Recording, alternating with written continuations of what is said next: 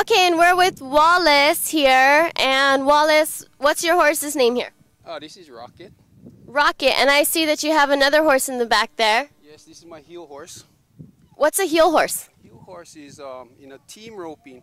The heel horse is the one that comes in on the back end and ropes the back legs on the steers. Okay. And Rocket is a head horse. He Oh.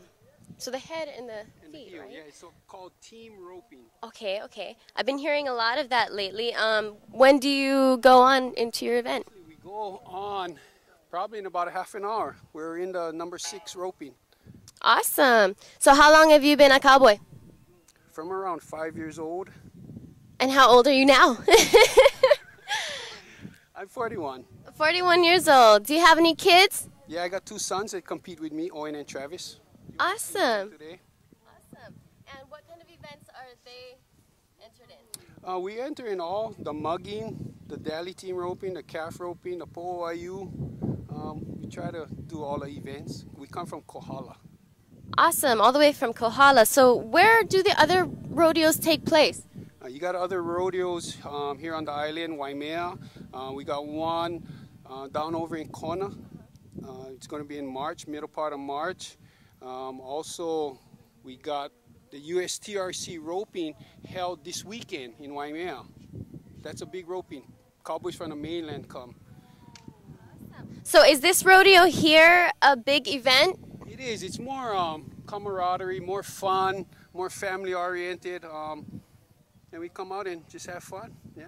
Awesome. So, you know, I noticed all you cowboys got big old belt buckles, and I noticed yours says, Parker Ranch Classic. and what was that from? This was from the rodeo that's going on now in Waimea. The USTRC National Fine, um, USTRC Qualifier is what it's called. Oh, okay. So, both of these rodeos are taking, um, they're happening the same time? Same time, yeah, yeah. This is more of a fun type rodeo, and the other one is a qualifier.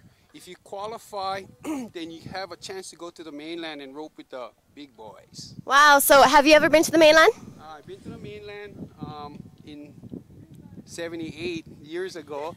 Did a little roping, but hopefully we're due for another one. Awesome. So, you have a lot of hope for your boys? They're doing so far. They're doing pretty good. We'll see. How old are they? They're 21 and 19. Awesome. Well, thank you very much for your time talking to us. We wish you the very best of luck.